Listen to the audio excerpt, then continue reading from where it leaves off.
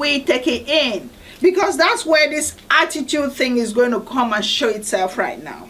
It says, anytime we feel we are not learning anything from a sermon or a Bible teacher, we should check our attitude. So whenever we're in church and we're sitting in that congregation and the pastor is preaching and preaching and preaching and we're not getting any word, we should look at our attitude. Because now he's telling us how do we listen? Especially, we should check our attitude, especially for pride. Pride is one of the biggest things that stop people from taking on information. I don't want to hear it. This is because God can speak through even the most boring teacher when we are humble and receptive. So no matter how boring that person is telling you something, God can speak through that person. Remember, God talks, God interacts with us through people. He's not coming down physically to talk to us. Me sitting down here and reading all this to you, if he's touching you, that's God using me to talk to you. So it's for you to be in a receptive mood, ready to take on this seed. Like the, this, the, the seed that fell in the fertile ground. It was receptive.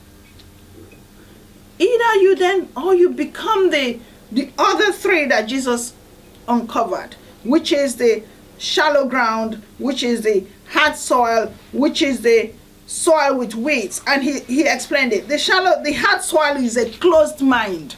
This person doesn't want to hear a thing you're talking about. You can talk from now till you drop. Not one word is going to drop in. The shallow soil is a superficial mind. This mind, oh yeah, okay, keep talking. Uh, I may be hearing, but I'm not. Okay, whatever. When you finish, it's done. And the soil with weeds is a distracted mind. You're saying everything, yes, is is nodding and is not arguing with you, but his mind is not there. It's somewhere else. And this was a huge one for me because this applies to everyday life. When we read a book, Bob Proctor, one of the men I listen to, he said he he reads that um, uh, Think and Grow Rich every day. He takes it everywhere with him. And why does he read it? Because every time he reads it, he gets a new message. That's what it is. He gets a new message. So it depends on what state of mind he was in when he read it at one the first time or the second time. And so the message is changing based on his mood.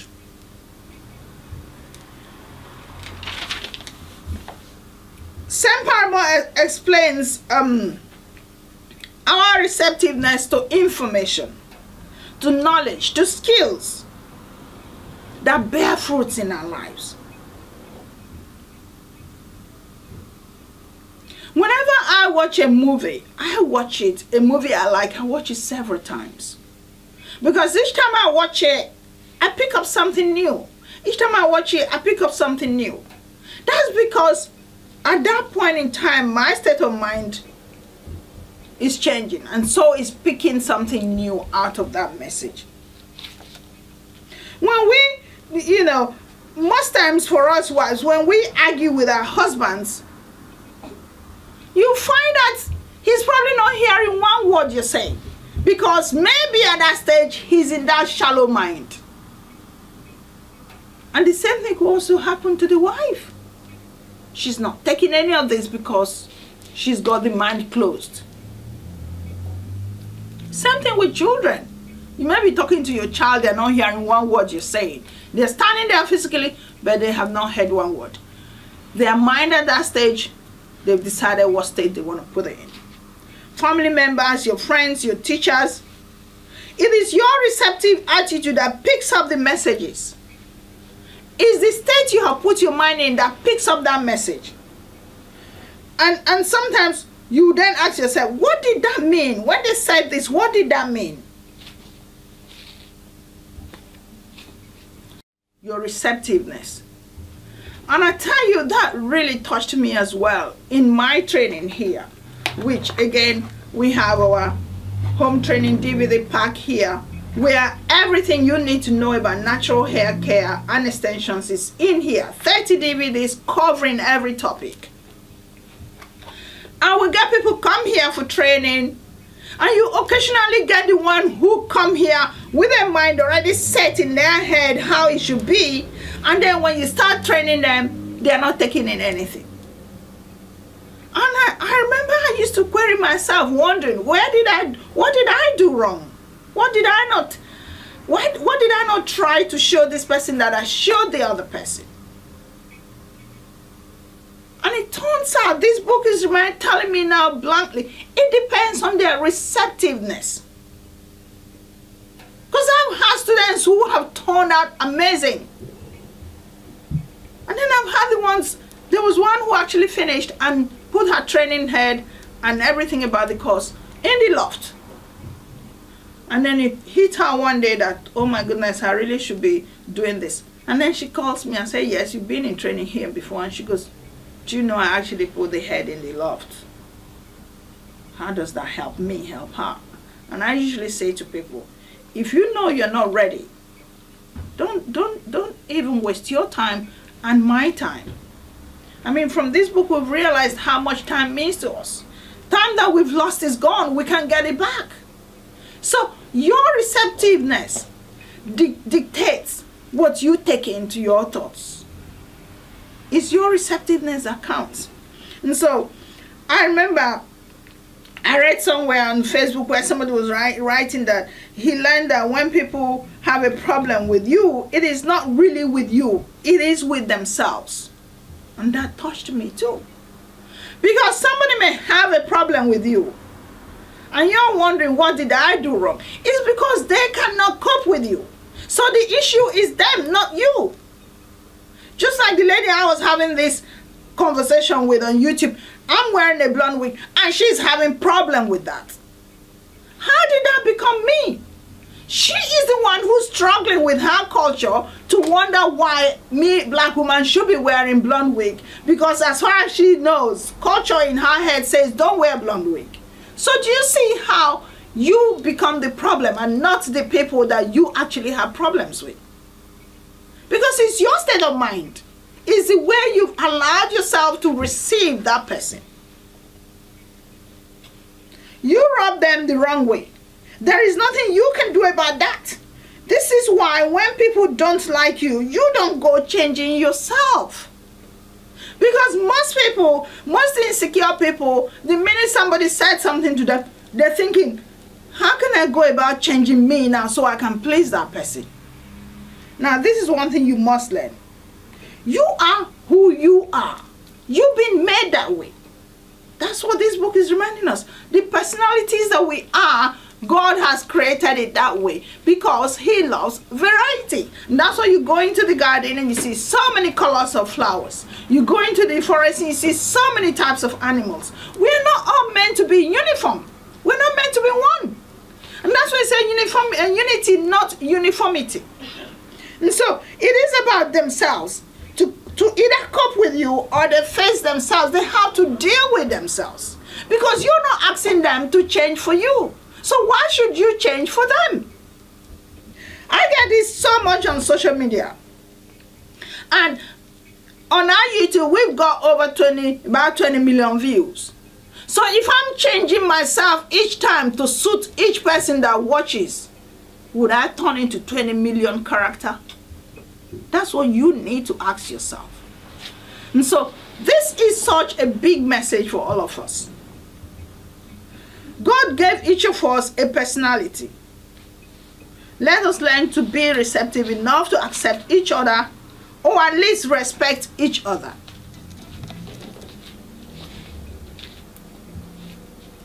The problem is your attitude towards me.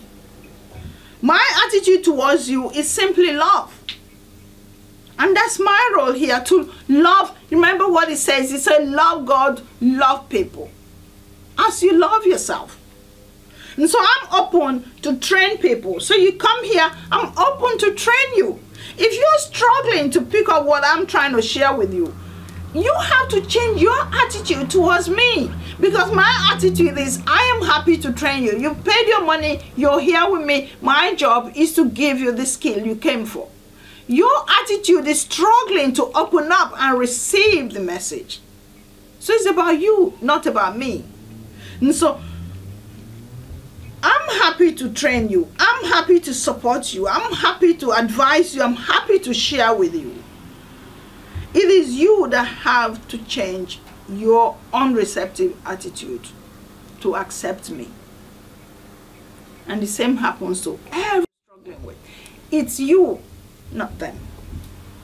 And so, James advises in a humble and gentle, modest way, spirit receive and welcome the word which implanted and rooted in your spirit, in your hearts. It contains the power to save our souls. And in, in the Lion King, the, the what the Lion King said was the teacher is waiting when the student is ready. The teacher is always waiting whenever the student is ready. So that receptiveness is where the issue is. And there was a little example, my daughter, she she does not like hair. It's not her thing. She's always said to me, Mom, I don't like to work with hair. Just leave hair out of it. I don't want to deal with hair. And then what happened recently? She saw a hairstyle that she loved. And she got herself, she sat on her own. Yes, she can do her basic cornrow on herself. She's been doing that. And so she got this hairstyle, a crochet hairstyle. And then she came to me and said, can you show me how to put this in? And I showed it to her. And she did it. And she was so happy with herself. And she's saying to me now, oh, I can't believe I could do it. And I said, I'm always here to teach you whenever you're ready. So that just explains to you what we're saying. She was not receptive all these years, not interested, didn't want to know.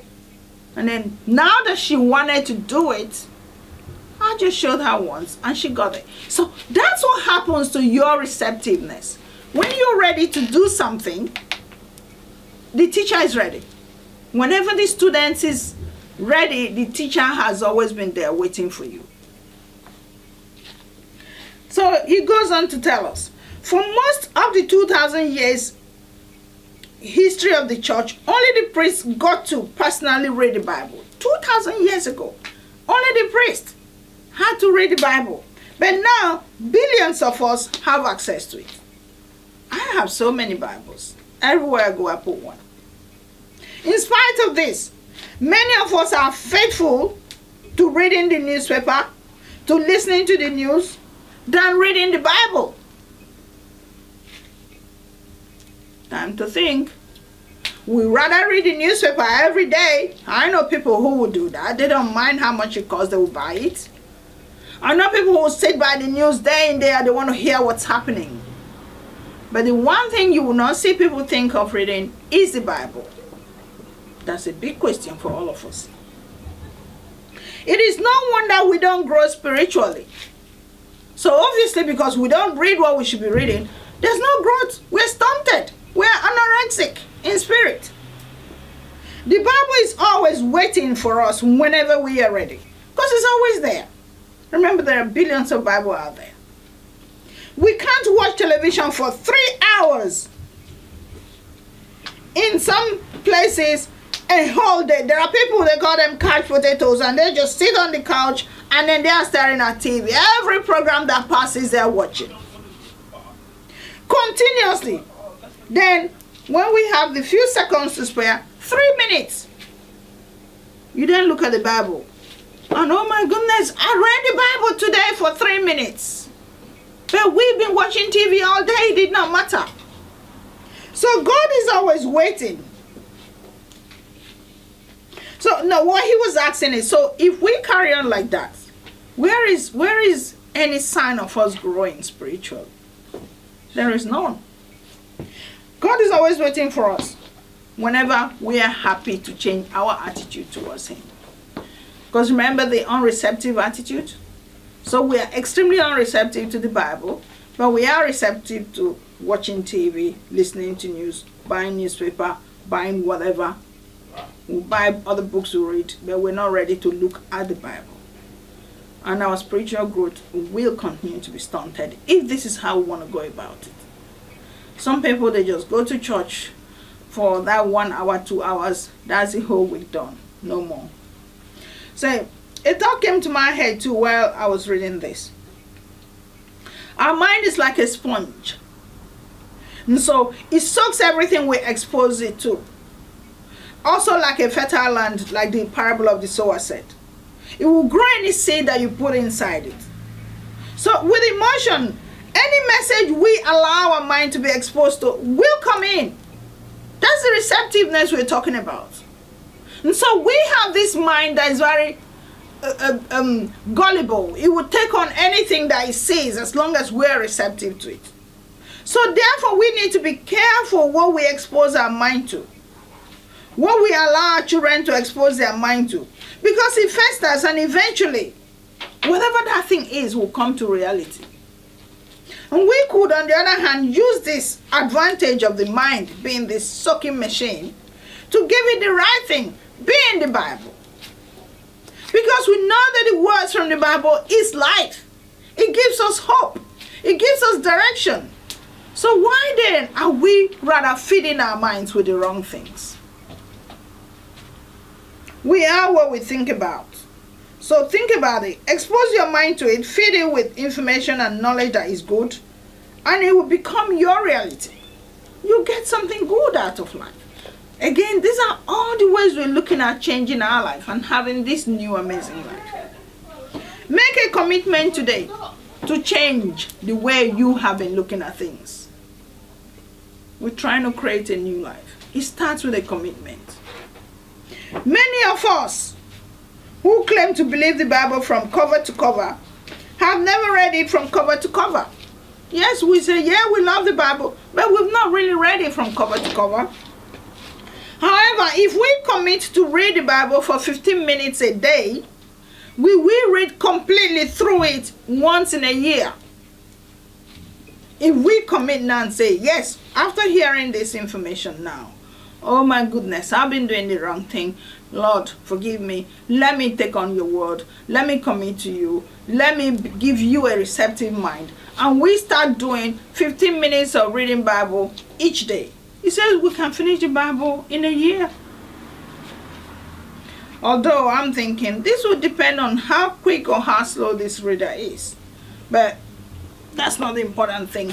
I'll tell you, there are Bibles that help us in that direction.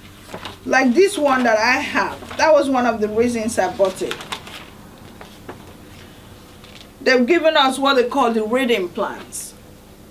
And so it tells you how much you can read in six months, how much you can read in one year, and how much you can read in two years. So it, it depends on the on the commitment you decide to give it. What which one do you want to go for? Every word of the Bible it says three years. So again, that's commitment. But he's saying that if you read 15 minutes every day, you can finish it in one year.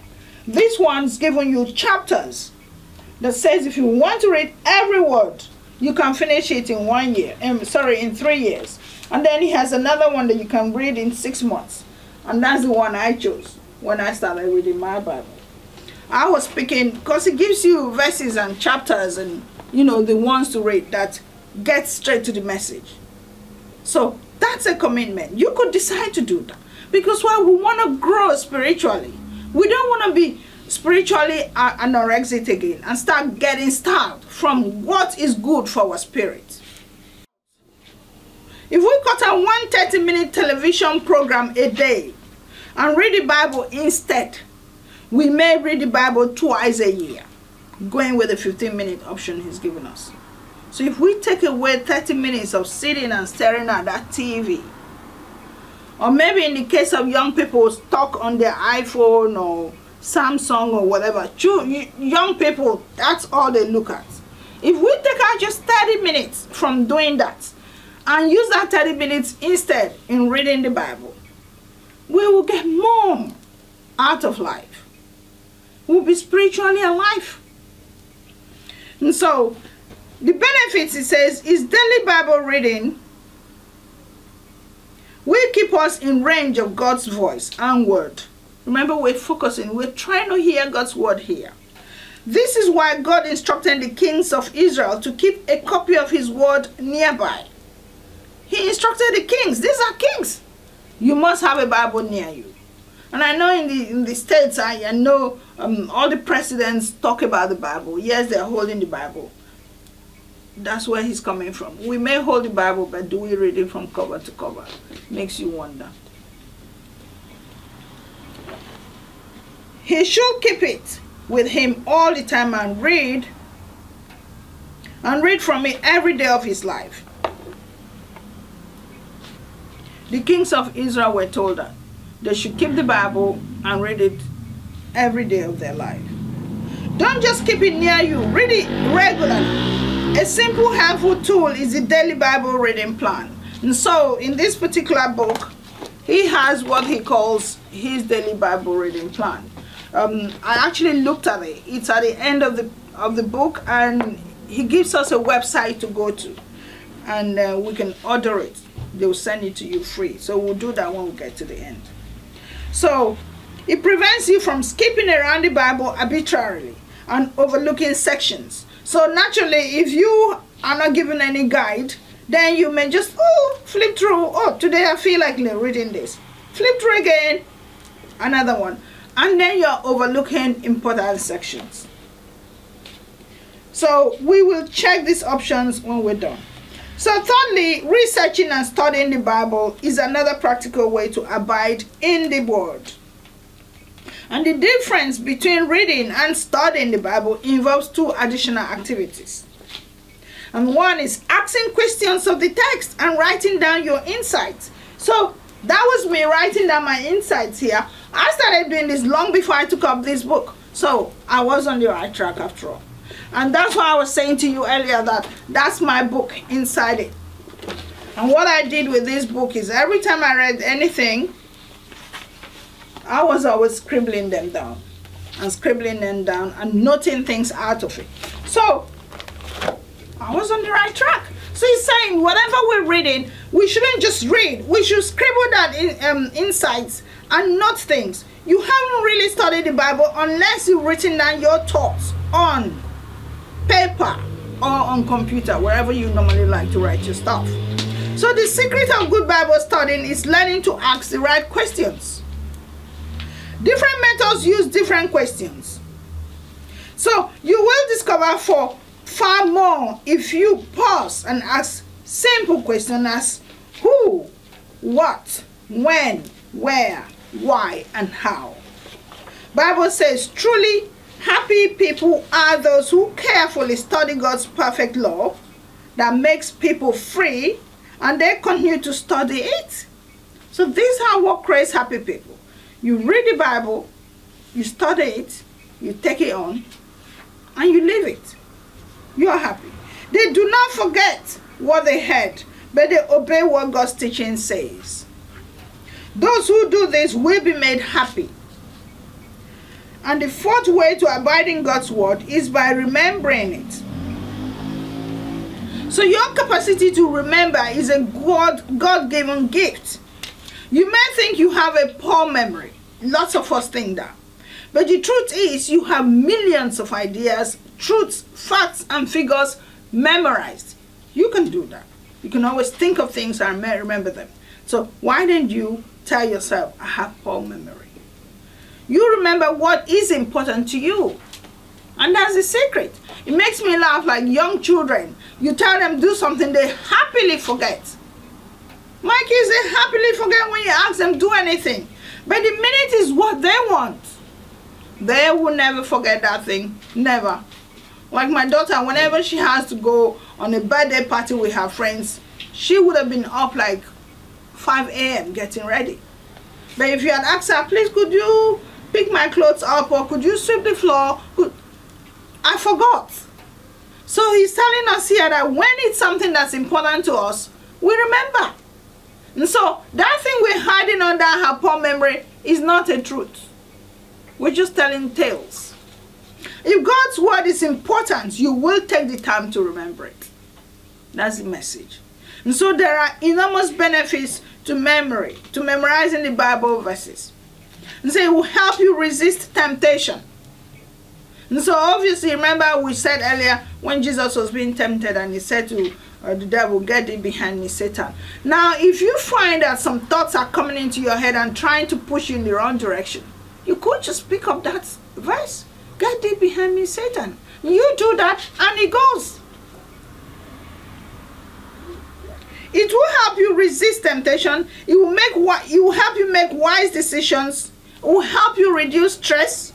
It will help you build confidence. It will help you offer good advice. Will help you share your faith with others. So again, reduce stress is also very important. Because sometimes when you're so stressed and you pick up something, like vanity upon vanity, sometimes I'm stressed and things are just way, and I just remind myself, vanity upon vanity. Then I remember, I realize, okay, all of this is getting nowhere. Why am I killing myself over it? Oh, oh yeah, we're only here for a certain number of years. What's, why, why, why do I have to give myself so much hassle over something that is only going to be here anyway? So when we do that, when we remember verses, all these things happen because remember they are alive. They are alive because this is what will guide your thoughts. Our memory is like a muscle the more you use it, the stronger it will become. And memorizing scriptures will become easier too. Because our memory is like a muscle, it's like a part of us. The more you use it, the better it becomes. This is like every skill in our life too. So the skill of memorizing things is like every skill in our life too. Where even with with um with uh, uh the skill of braiding, which we offer here. You get people who come for training and they're struggling, and I say, don't stress yourself. Just take your time, do it, and keep doing it, and keep doing it. The more you do it, the better it gets. And that's what he's telling us here. Just the same thing with the skill of memorizing things. The more you remind yourself, remember this, remember, the better you get. So it says, we begin by selecting a few Bible verses that have touched us and write them down on a small card to carry along with us. Then review them aloud throughout the day. So that's what I did here when I started writing my verses here. It goes, this book goes with me everywhere. And so whenever I find that something is trying to make sense to me, ah, I just go in there and I pick it out. And so we can memorize the scripture anywhere while walking or exercising, while driving, waiting, or at bedtime. Tell ourselves, you quote, you quote, you quote, you're relaxed. Stress goes. And so the three keys of memorizing are review, review, and review. Just keep reviewing it. Just like practice, practice, practice. Bible says, remember what Christ taught and let his words enrich your lives and make you wise we should remember what Christ taught us. Let the words enrich us. Let the words make us wise. The fifth way to abide in God's word is to reflect on it, which the Bible calls meditation. For many, the idea of meditating brings up images of putting our mind in neutral and letting it wander. I, I remember I remember thinking that way too because um, most times when somebody says to you, sit still and don't say anything, just sit still. Boom! You see your mind going crazy. It's like it's on fire. It's like they've, sort said, they've just said to the mind, can you travel around the world and find what's here and what's there? And so he says that's not what meditation is. This is the exact opposite of biblical meditation. He said meditation is focused thinking. Just put your mind on one thought. It takes serious effort. You select a verse and you reflect on it over and over and over in your mind. Vanity upon vanity. Vanity upon vanity. Vanity upon vanity. And so if you keep doing that over and over and over, you find that as explained in previous chapters, if you know how to worry, you already know how to meditate. What is worry? Worry is when you're thinking about one thing over and over and over, and I know some. I haven't got any money. Oh my goodness. I haven't got any money. Oh dear. I haven't got any money. And so when you keep doing that over and over and over, then your whole body takes it. And then you start getting down and getting, you know, you start become becoming sad and sad and sad. And before you know it your whole body is taking that on. And that's why i say to most people mind over matter. So if you have a little cut in your hand like the kids oh god cut in my hand. And it hurts so much and it hurts so much. And i say take your mind off it can you just think of something else the minute you do that you forget that you had a cut in your hand and that's worry and so it wants us to focus on our, our thoughts. The same way we focus our thoughts on worry, focus our thoughts on a verse in the Bible. Pick up a verse and tell yourself that whole day, vanity of vanity. For example, um, God is the truth. Uh, in the beginning was the Word. In the beginning was the Word. The Word was, was with God. The Word was God. And so I remind myself that the whole day. That's meditation. Worry is focused thinking on something negative, something that's not healthy. That's all you're thinking about. Now he wants us to transpose that. Think instead of something positive. Meditation is doing the same thing, only focus on God's word instead of your problem. Instead of worrying about that problem, focus on what God has said to you. No other habit can do more to transform your life and make you more like Jesus than daily reflection on scriptures. As we take the time to contemplate God's truth, seriously reflecting on the example of Christ, we are transformed into his likeness with ever increasing glory. If you look up at the times God speaks about meditation in the Bible, we will be amazed at the benefits he has promised to those who take time to meditate on his word throughout the day. And one of the reasons God called David a man after my own heart is that David loved to reflect on God's words. He said, How I love your teachings. I think about them all day long. Remember, our thoughts create our actions, which creates our life's direction. We wondered in the last chapter where we can source information from that will influence our thinking. Now we found it. Just reflecting on God's words. That's what feeds our thoughts. And King Solomon said it all. In all things, seek understanding. So we are seeking understanding from the Bible. We should seek knowledge. The Bible is therefore our source for inspiration in our thoughts. If we think about them all day long, then the answer will come and we act accordingly. So you see how the answer has come to us? Think and grow rich. We're thinking in God's words, then we're going to be rich. Obviously, spiritually starting with, and then we'll find our, our reason for being here. How awesome is that? It is not only when we have gone to university to get doctorate or professional degrees that we become wise. We don't need that. Because I know we've been told over and over that even people who are professors, some, some of them are still working in McDonald's. Why? Because we're not thinking clearly. We think it's academic education that's been wise. No. And I was reading something on Facebook the, the last last time, and somebody was writing about this issue in Nigeria. The last president we had was a doctor, Dr.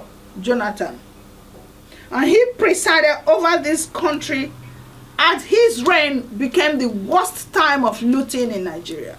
The worst time of people becoming completely reckless with the treasury money. People raping the country out of its natural wealth. And this was a, a doctor, doctor, academic education. And one of the, what these people were writing was, most people voted for him because they thought, oh yeah, at least he's educated. He would think right. But he obviously didn't. And all the other ones who have maybe managed or done something a bit okay, none of them got up to that level of education. So, is it education that makes us wise? No. It's just reading what somebody has written and passing exams. That's what it is. Doesn't bring wiseness. And so, serious reflection or meditation on God's truth is a key to answered prayers and the secret to successful living. So, if you want to live successfully, which is the dream we're having by reading this book, we want to focus on God's word. And it's reminding us we must apply its principles. So, receiving, reading, researching, remembering, and reflecting I call it the five R's all these things on the word of God are all useless if we fail to put them into practice.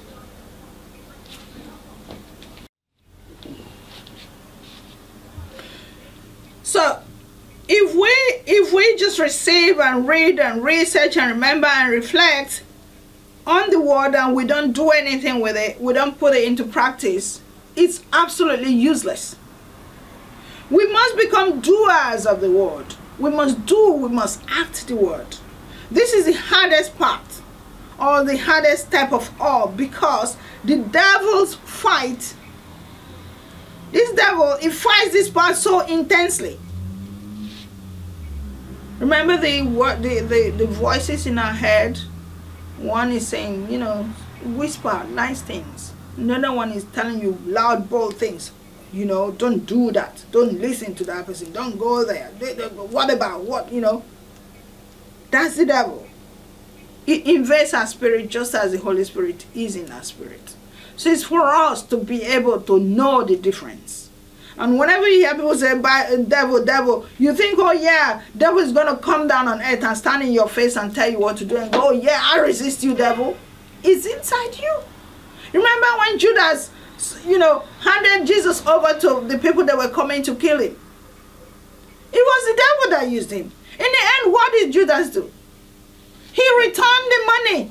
When he realized that, uh-oh, what have I done? He realized it was blood money. And apparently, uh, the last time I was in church and the pastor was preaching this, that money was used to buy a piece of land and they called the land blood land, something like that. And then Judas went and committed suicide. He went and hung himself. That's how the devil can use us if we're not strong enough to know the difference.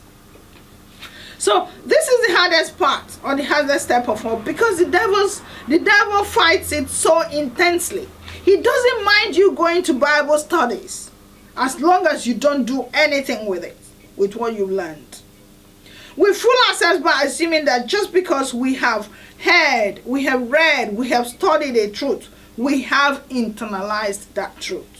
We can be so busy going to the next class, the next conference, or the next seminar that we have no time to implement everything we've learned. And one of the biggest things we've learned so far, we should love God and we should love others. To me, and I know the book says it, I know the Bible says, is the first commandment we should take on love ourselves. Love i mean love other people like we love ourselves. Because the minute you do that then doing bad things to people disappears from your mind. Hating people disappears from your mind. Being jealous of people goes away. And then you have people like you know i, I call them the cowboy pastors out there in nigeria in particular and africa they just want to destroy the lowly person. They want to take every penny they've got so that they can amass so much. And when you do that, you're not doing what God has asked you to do. You're not a doer. You're just a theologist. You're an ideologist. You read and oh wow, I read. You haven't internalized it. You haven't put it into action. And so we forget all these things on our way to the next class or the next studies. So without implementation or action, all our Bible studies, doctrines, and preachings and uh, preaches are worthless. So that's what's happening in all these churches that are so destroying the Christian faith. Jesus said, Everyone who hears these words of mine and put them into practice is like a wise man who built his house on the rock. So again, that's like the seed that was dropped in the fertile ground and so it grows creates roots and, and brings out amazing fruits. So enough with the doctrines. Jesus also pointed out that God's blessing comes from obeying the truth, not just knowing it. Are we acting on it? Remember the word is what becomes our thoughts. He said, now that you know these things, you will be blessed if you do them. Another reason we avoid personal application is that it can be difficult or even painful. Lots of us struggle to act on these things. The truth will set us free, but first it may make us miserable. So yes, whenever you're dealing with the truth, which never changes, it might make us miserable, but it's never, it never changes. And one thing the truth does is it sets you free. Because if you have to tell that truth all the time, you don't have to think about it. It's the truth. You don't have to say, oh yeah, I think I just remembered something and then so and so happened. That's not the truth. The truth never changes. And so it sets us free. God's words exposes our motives. He points out our faults. He rebukes our sins and he expects us to change. So whenever we look at God's words, it takes us straight to the point. He wants us to do something about it. It is human nature to resist change. So applying God's word is hard work. As humans, we really don't like anything that doesn't work well with us. We struggle with anything that involves change. It is therefore helpful if we share and discuss our personal application with other people. So he's suggesting here that if we, once we start taking on these passages and we are thinking of acting on them, we should create groups and share with our friends what we want to do. Because when you do that, it is important we become part of a group so we can learn from each other's truths as we will never learn on our own. Remember that I talk about isolation. So when you sit in isolation and you tell yourself you're holy, say you're deceiving yourself because who are you who are you compete who are you competing with? Who are you maybe not compete, but who are you struggling with? Who is giving you something that you have to respond to in the sense of okay, this person is different from me, and so I have to receive this person, I have to respect this person, I have to accommodate this person. That's the real challenge of God. Remember, it says, life is a test. And so you haven't been through life if you haven't been tested. That's what it is. And whichever way you look at it, you're going to get a test. As long as you're human, you will have a test. That's just the way life is. And so you cannot handle that test in isolation. Other people help us see things and insights that we will never have seen on our own. Another great way of becoming a doer of the word is to always write out an action step as a result of our reading or studying or reflecting on God's word.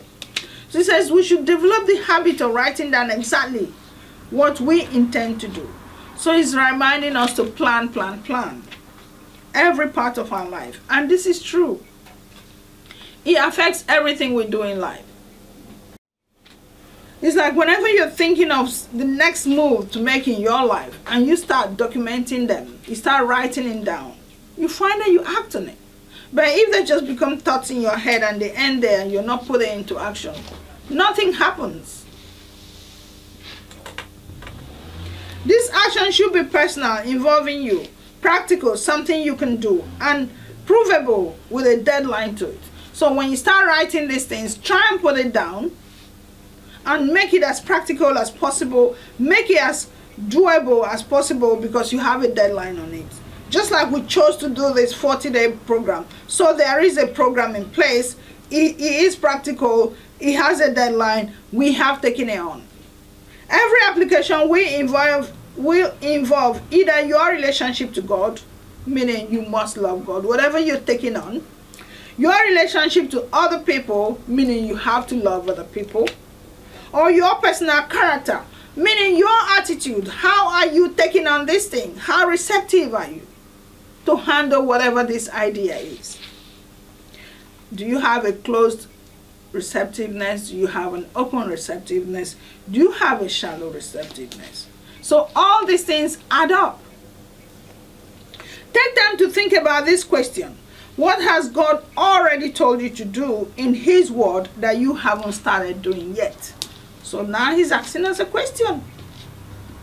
In that small, still voice telling you do something, you know it's God speaking to you, but you haven't done it. What is that thing? And for me, working with you on this book, it's a voice that came to me. And I took it on.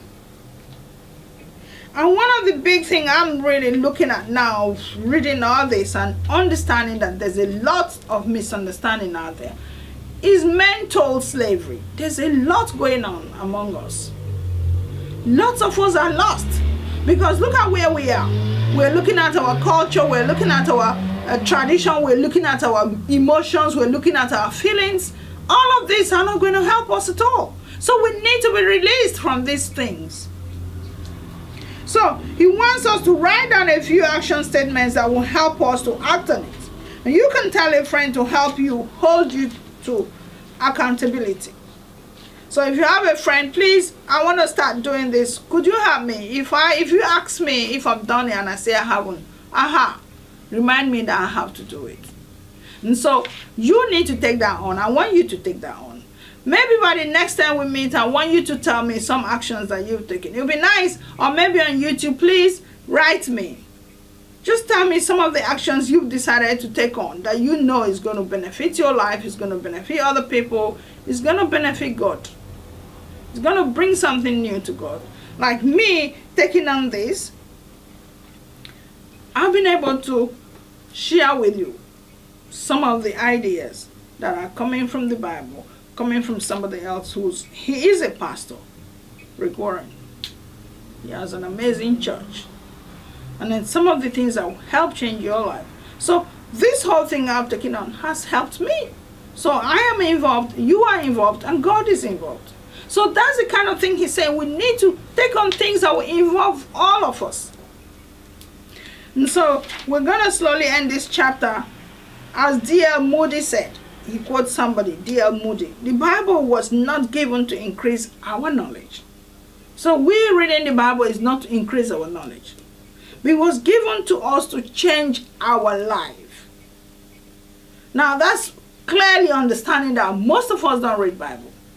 Most of us don't. And we're sitting down there crying in darkness because again, like uh, I think it was the last chapter I was saying that Lack of understanding is like you are in a dark room, groping. You don't know where to go. Where is the door? How do I get out? That's what lack of understanding brings. And that's why Solomon said, above all things, seek knowledge. So whatever it is you want to go into in life, first thing you do is seek knowledge. Like I put together all of this to help whoever's thinking of going into hair. Now, interestingly, especially regarding hair, I was watching, um, I received an email and he was telling me, I don't know if it's Ohio State or one of those states in the US. And they were going into detail to explain how these people are really struggling to gain the skill of braiding. And they all end up going to cosmetology colleges, which does not teach braiding in any form. And the number of hours braiders have been given to go and learn is so much more than even security officers. And yet, when they take on these trainings, they are looking at $20,000 to pay for it. That was a huge eye opener for me. Because this whole package that concentrates on teaching you everything there is to know 30 DVDs with over 21 skills. And people are still struggling to handle it. So, where is the hope? Where is the hope? So, it's about seeking understanding in whatever you're doing. Once you get to understand what you're doing, the door opens, the light comes in. Remember when God said in Genesis, let there be light. That's what understanding means. The minute you have understanding, you have light. And it's the same thing about us living our life too. Because most of us living life, that's why we're so sad. That's why people are committing suicide. That's why there's so much depression. Because we don't seek knowledge. We just think we are going to, yeah. Remember, I think it was in last chapter where he says some of us just roll around in life leading nowhere. Because we have no direction. So taking on this book to chat with you is a huge thing to help us find that direction that we lack. And so before we finish, we'll read our usual question. And question was, what has God already told me in his word? That was what he just asked us earlier. That I haven't started doing. So that's the question. Tell you, ask yourself, what do I need to do? What can I do that will touch me, touch other people, and touch God? Start doing them. Because you never know. That might just be the thing that will change everything for you. And then the meditation was, if you continue in my word, then are you my disciple? So as long as God has given us words, he says he wants to use those words to, to kind of make us look or act like Jesus Christ. Because it's only the word that plants a seed in our mind. Indeed, um, um, you become my disciples indeed, and you shall know the truth, and the truth shall set you free. The truth always sets everybody free. And so I picked up one of the ones that I was saying earlier was in the beginning was the word. Remember, all of today was mostly focusing on the word. In the beginning was the word. The word was with God, and the word was God. God is the word, and God is the truth. So I'm so happy we've finished today again. Thank you so much for watching this and thank you for all our commitment in making this happen. I look forward to seeing you in the next chapter and God bless you abundantly.